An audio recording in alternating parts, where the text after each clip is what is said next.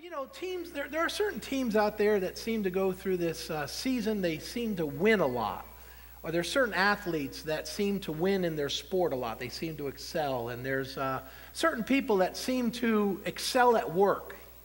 And, and there's been a lot of research done on these kind of people, and it's, it's been concluded that there are a lot of things that they have in common. There are a lot of things that they do that, uh, that maybe we don't do, and there's certain things they don't do that maybe we find ourselves doing. So uh, this is called the winner's code. It's, a, it's like a code of ethics. Some of it's subconscious, some of it's conscious, but it's a behavior, it's a lifestyle that they live that helps them to succeed either at sports or to succeed at work. And so, uh, what, what we're going to do for the next several weeks is just talk about this winner's code and maybe explore some of these things that are found there and see if maybe we can apply them to our lives. We're not going to have some kind of all inclusive list, but a, a number of these things you'll find can be really, really helpful to you.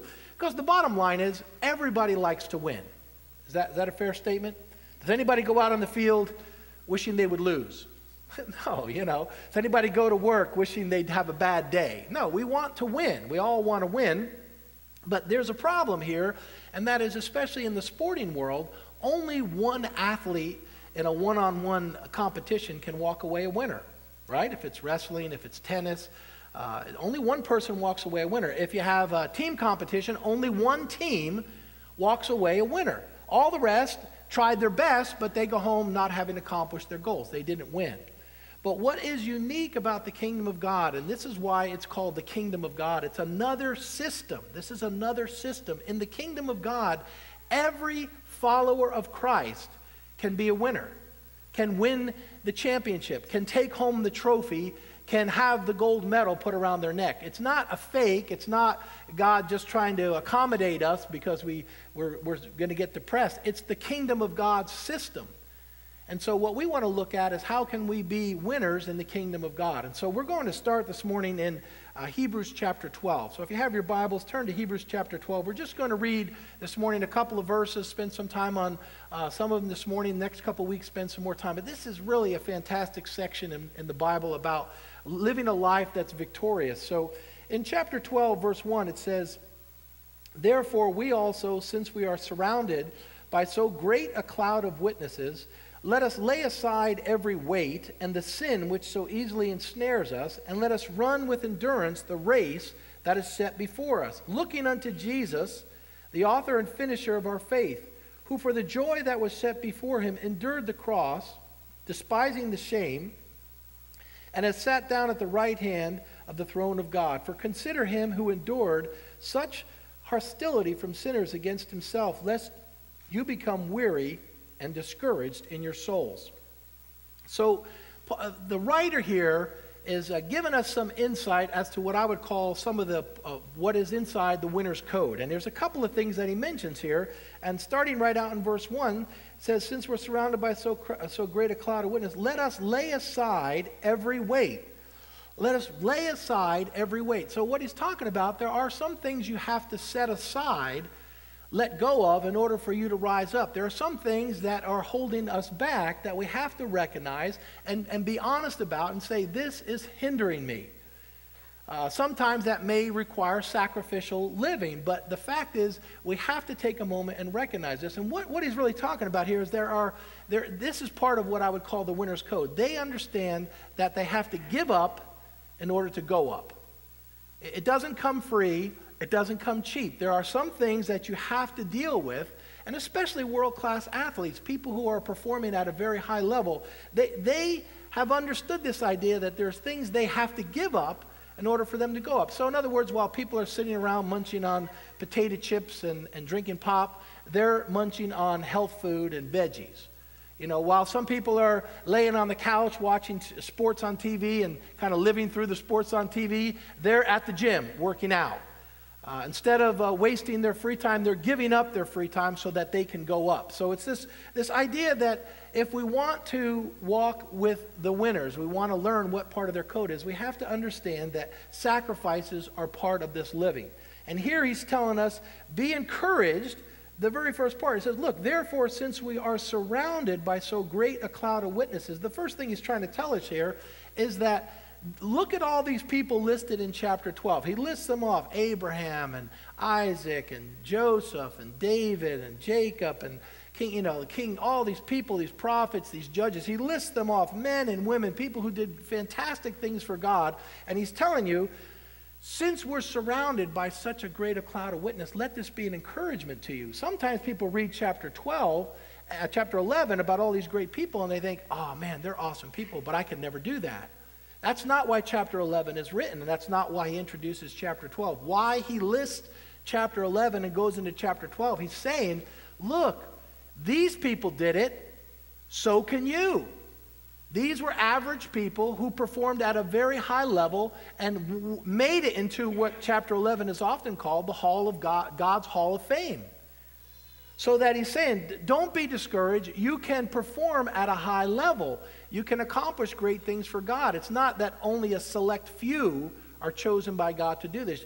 Therefore, since you're surrounded, all these people, he said, look around. There are people who are doing this. They're not special people. They've learned certain things and they're walking in them. And the one thing they have learned is they've learned to lay aside things that are hindering them. So, so what, what this is bringing out is this is a difference between the world system and God's system because in the world system, you have to be the best to get the trophy. You have to, you have to not only do your best, but you have to be the best. I mean, eh, eh, you know, there's plenty of stories of people whose names we don't know who, who did their best, but since they weren't the best, they didn't win the championship. Or since they weren't the best, they didn't get that multi million dollar contract. They just faded off into oblivion. But here, these people are not the best. These are people who did their best, used what gifts and talents God had them, and in chapter 11, they made it into the Hall of Fame. And he's telling you, look, in chapter 12, therefore, since you're surrounded by these people, you can do this. You can do this. You can make it into God's Hall of Fame. I think probably most of us don't believe that. You think, we think that's special just for the select few. This chapter in chapter 11 is trying to tell you you can be in God's Hall of Fame. You don't have to be the best, but you do have to learn how to walk and live to the best of your ability. So he tells you you have to give things up. Lay aside every weight. So what, you know, what would he be talking about laying aside every weight? What is, what is the reference here to weight?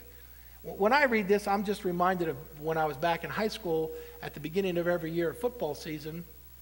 In the summer, we would start training vigorously, and we're supposed to be training year round, but we would put on ankle weights, and uh, the heavier the better, and then we would run around the track, uh, you know, as, as much as we could. And the idea was the ankle weights were to build up our strength so that when the season came, obviously we laid them aside. We, we took them off. You'd be foolish to try to play with those while you're in, in, the game. So, so when I think of laying aside weights, I, I think sometimes maybe there's things that could have even been beneficial in our life at one time, but maybe are no longer beneficial. Maybe we need to take a look at things that, that we think you know, used to be a benefit to us. Maybe our system of reading or the way we used to do things, the way we've served, the way we've gotten involved, maybe that was beneficial at a certain point. But is it possible now that, that God may be calling you to lay it aside? And, and here's the thing it's not always a decision between good and evil that, that this passage is talking about. Lay aside every weight. It's not talking about stop doing bad things. The next part is talking about that, but this part is saying that it's not always between good and evil, it's not always black and white. Paul talked about this in 1 Corinthians chapter 6 when he said, All things are lawful for me, but all things are not helpful. This is a passage you have to get grapple with and begin to understand. This is, this is maturity in Christ when you begin to understand, yes, it may be lawful, but it's not really what is the best. It's, it's learning how to choose what's great over what's good. This is, this is a lifestyle that winners, this part of the winner's code. It's not just, well, that'll do, but is this going to help me advance in my relationship with God? Is this what God has for me? While other people may be able to indulge in it, and we don't have the right to tell them they cannot. Not necessarily that it's right or wrong, but it's, is that right for you? This is becoming personal responsible for your own life and beginning to understand if I want to become part of this chapter 11, this list of names of average people who excelled above and beyond, and, and I want to be a part, I have to learn sometimes I've got to give up to go up. I've got to let things go that may not be necessarily wrong or evil. Maybe other people can experience them and indulge in them, but in my life right now, I need to let that go. And if I learn that, that is truly part of the winner's code. They understand this and they're willing to do it. They're willing to make that sacrifice because they see the benefit. The second part of this is he says, not only lay aside every weight, but he says here, lay aside every sin which easily ensnares us. So, this is the second part of what we might refer to as the winner's code. First, they lay aside things that would be good so that they can choose something that's better, choosing the great over the good. But this one is talking about playing by the rules. This is talking about not cheating. So, you know, you hear all the time in sporting events of people who break the rules. I mean, there was a story years back about Marion Jones. I don't know if any of you remembered her, but she's the first lady to ever win five medals in the Olympics. She won three golds and two bronze. Powerful athlete. Well, come to find out, she broke the rules. She was using steroids. And then more recently, we, we still hear bits and pieces from Lance Armstrong, the man who won seven Tour de France races in a row. Seven. I mean, that's a Superman. That is truly a Superman. Oh, but we just found out, you know, happened to find out, and they knew for years, but finally it comes out, he cheated. He didn't play by the rules. Well, here's, here's how this applies to us sin is breaking the rules. That's what he's talking about here. Don't break the rules. You want to join up with this crowd that's listed in chapter 11? Don't break the rules. Let aside, let, lay aside that sin that so easily ensnares us. You don't have to give in to that. You don't have to give in to sin. I mean, we have been redeemed. At some point in your life, you have to grapple with this and say, I am a new person. I know sin exists, but I do not have to give in to it. I can let it go, I can release it because sin is cheating. And, and God has given us rules for this game of life. There are rules just like in athletic competition. There are rules. You have to obey the rules if you want to compete. If you break the rules, then sooner or later you get caught. Sometimes athletes think they can get away with, you know, some kind of new drug and they use it for a period of time and then they get caught and it's a big scandal. It's, it's a non, you know, it's a repetitive cycle. But it's similar when we deal with sin. You, you may get away with it for a while, and, and even though, like, people who break the rules, they get away with it for a while. I mean, Lance Armstrong was getting like half of a million dollars every time he won the Tour de France and celebrity fame and, you know, all kinds of stuff. But sooner or later, the Bible tells us your sin's going to find you out. And then it's the crash. And then everything's ruined. So, so we have to be determined as part of the winner's code. I want to win in life. I have to be determined. I'm not going to break the rules. That's not part of my that's not part of my vocabulary. I'm not going to be doing that. I may be tempted to, and there may be pleasure in breaking the rules, and you may get away with it for a while, but a day is coming where everyone's going to be held accountable. And people who think they can cheat, the Bible tells us there's a day every man will stand before God. And if people think they can cheat and get into heaven by some other method, they're breaking the rules. They're breaking the rules.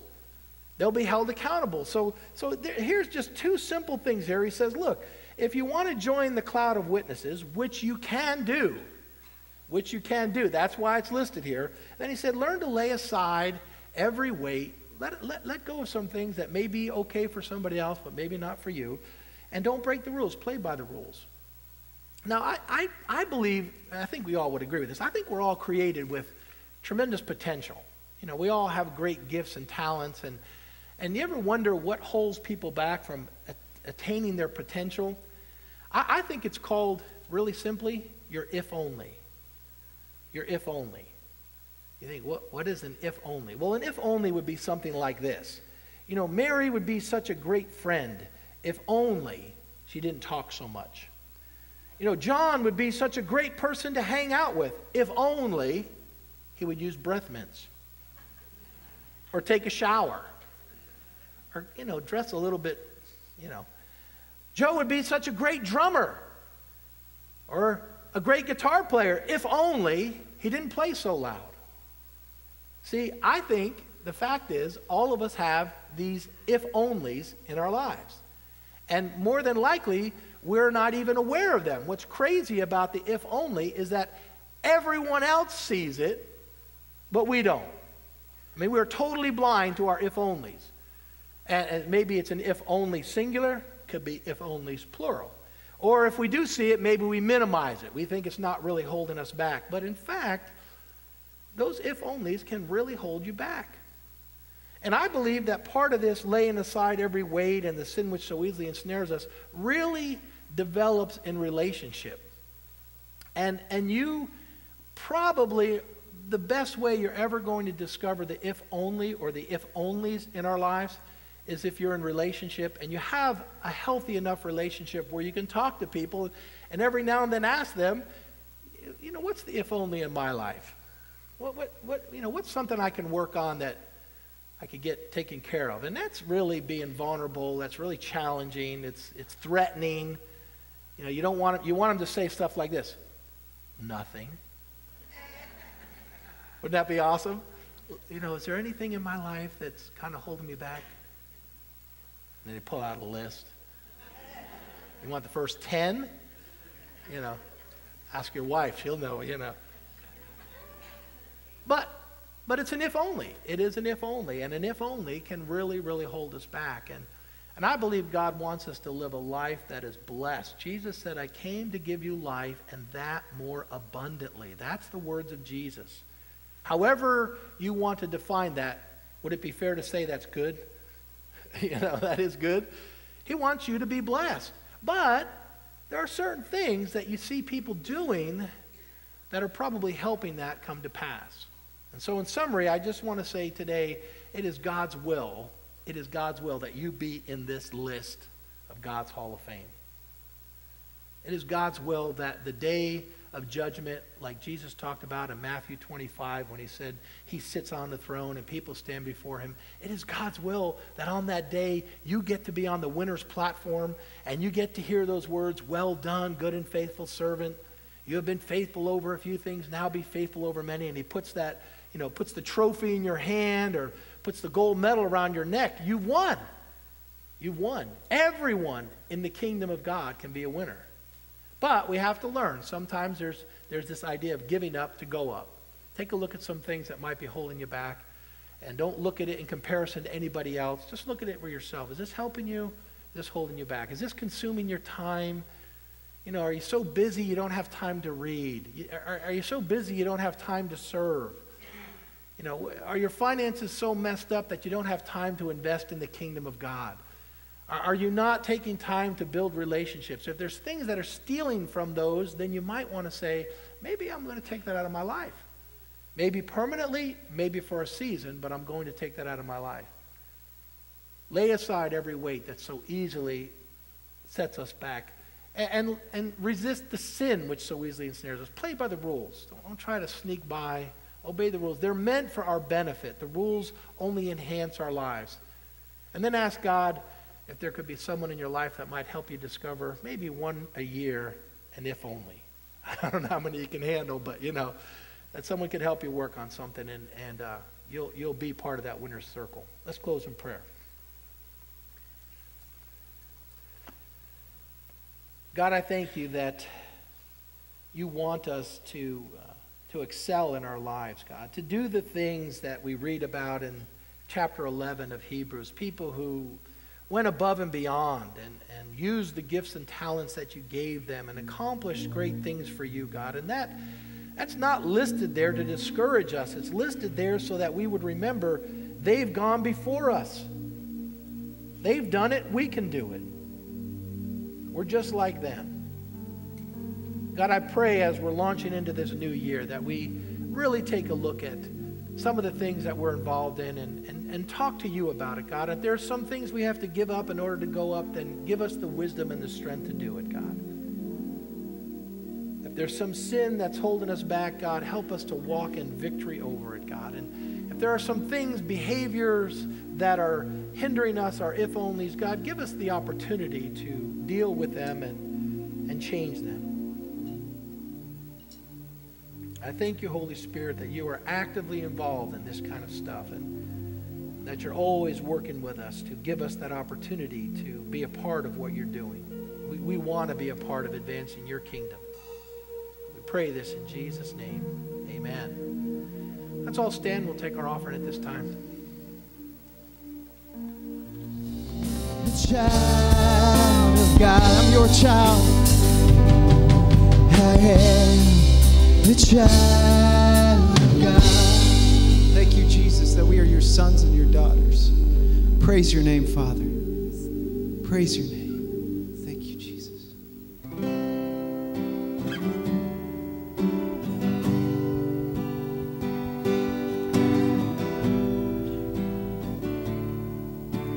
Can you feel this?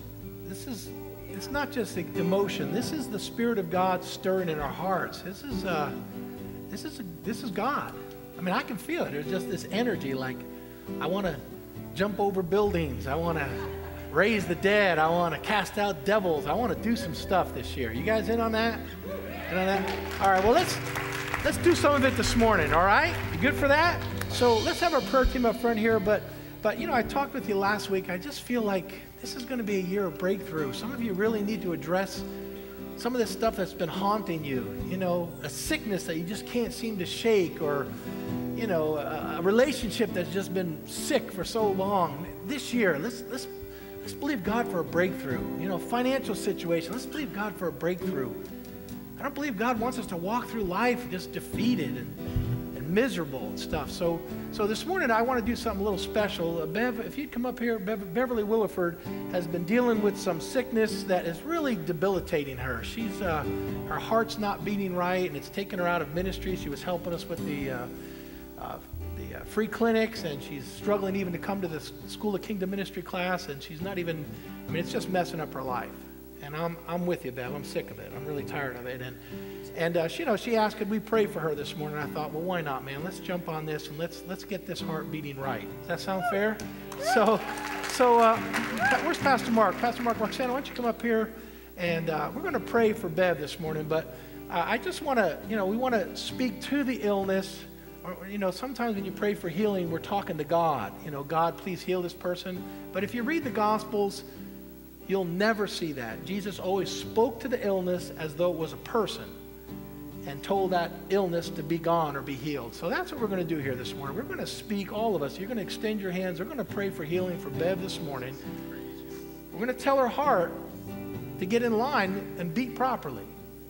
All right? So, so now, Bev, before I pray, I just want you to know I, I don't normally yell.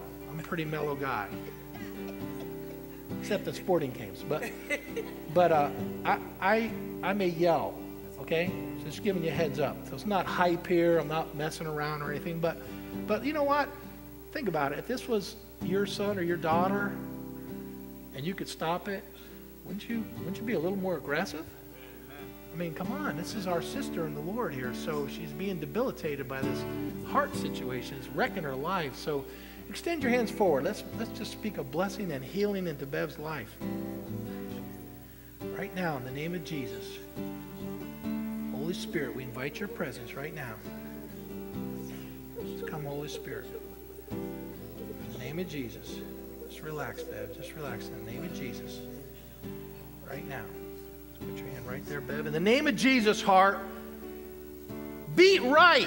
Be healed in the name of Jesus right now. In the name of Jesus. From this moment forward, no more messed up heartbeat. Be healed. Be made whole in the name of Jesus. In the name of Jesus. Be whole. Be properly. Be healed in the name of Jesus. Come, Holy Spirit. Just come. Just let them come. Lift your arms up, Bev to take a deep breath in the name of Jesus. Just breathe it and breathe the healing power right now. Heart, beat regular right now. In the name of Jesus. Let's bless you. This is good. It's just fun. Be healed in the name of Jesus. Body be made whole. Bev, begin to function properly. Do the ministries that God has set for you. Get out of bed. Do the things He's calling you to do. Body be made whole in Jesus' name. Amen. Amen. Good. That's good. That's right. That's good. Just stay right there. Just speak it. We're going to close with our song. We're going to keep ministering to Bev and just speak healing into her life. But listen, if any of you need some prayer for healing, if any of you are ready for a breakthrough, you need some special prayer, come up get some prayer. let's be aggressive. Let's be aggressive this year. Let's, let's, make, let's make the kingdom of God real in our lives. I, I truly believe the power of the Lord's here right now for healing bodies. If you've got some ongoing illness that has harassed you, come and get some prayer this morning. Let the Holy Spirit bring some healing into your body. All right? So we're going to close with a song. If you need prayer, come on up and get some prayer.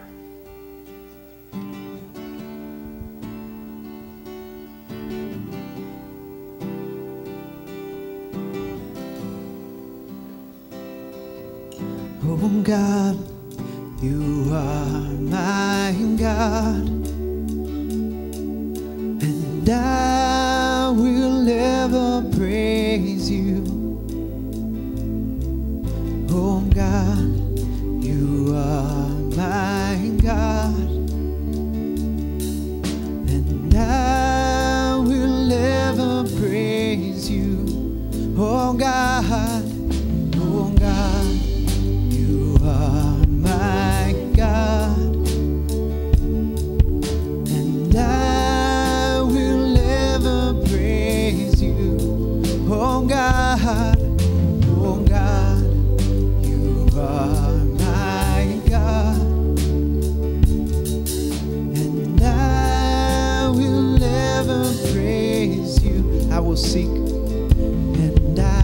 I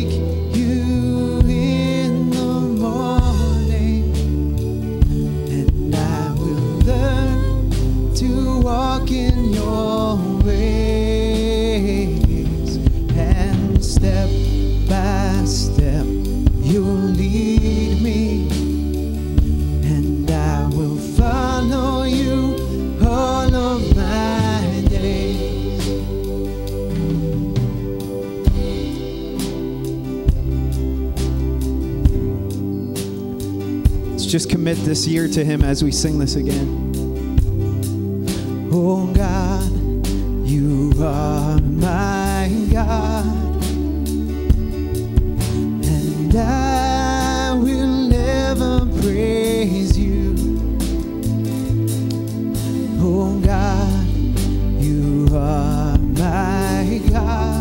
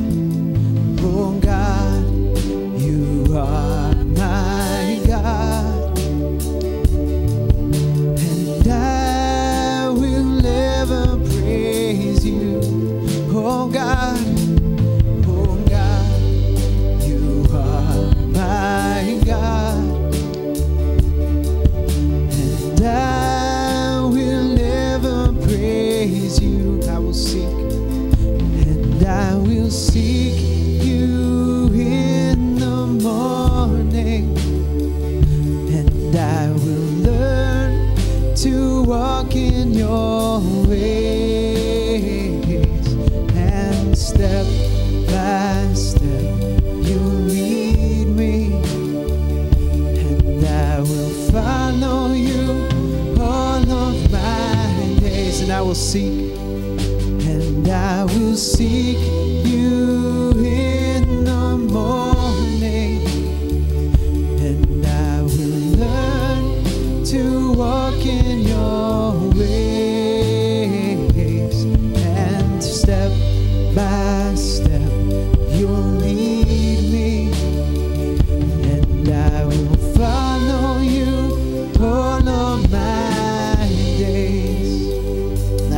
our service. Be blessed. We love you. We'll see you back here next week.